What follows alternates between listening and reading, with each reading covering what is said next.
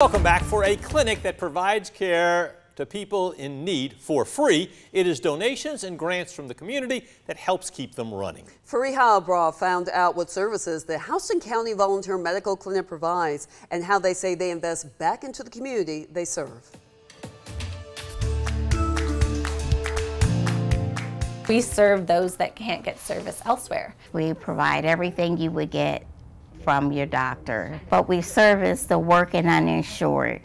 That's what this clinic is all about. The Houston County Volunteer Clinic is free to all Houston County residents who are working and uninsured. It's fully funded through grants and donations, like the $35,000 from county commissioners. Volunteers here say it's a community initiative that circles right back into itself like Jessica Crystal, a volunteer nurse practitioner at the clinic. Helping those that don't have access to care is really, really important to me. Partnered with United Way and Houston Healthcare, their services include primary care, women's health, low cost prescriptions, the common cold, high blood pressure, diabetes, um, chronic ailments. And then if we're unable to take care of them here, then we're able to support them going to a specialty care as well. The clinic also discusses healthy habits like diet changes and exercise, which can help relieve the expensive burden for patients and providers. So if we can educate and expose them to that information, it benefits